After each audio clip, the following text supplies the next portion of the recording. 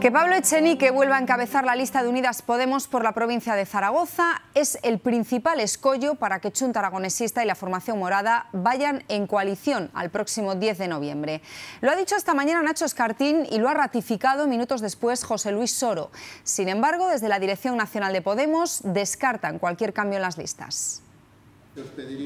Nacho Escartín quiere que el candidato de Unidas Podemos se elija desde Aragón, porque cree que eso abriría la puerta a negociar con Chunta Aragonesista. Y ante la pregunta de si Pablo Echenique es el problema, responde.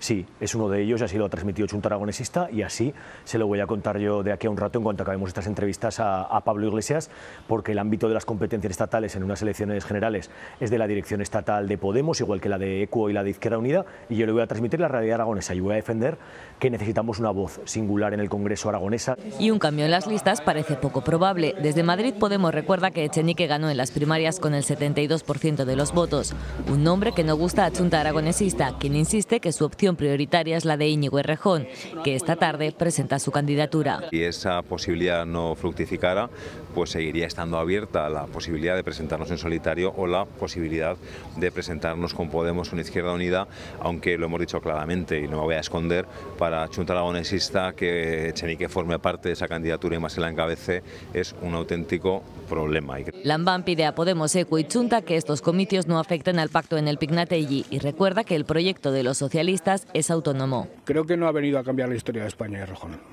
Partidos políticos que se funden, que se disfunden, insisto, nosotros eh, respetamos absolutamente lo que hagan todos los demás, pero nosotros somos, insisto, una fuerza autónoma. Negociaciones que apremian porque el domingo finaliza el plazo para presentar las coaliciones.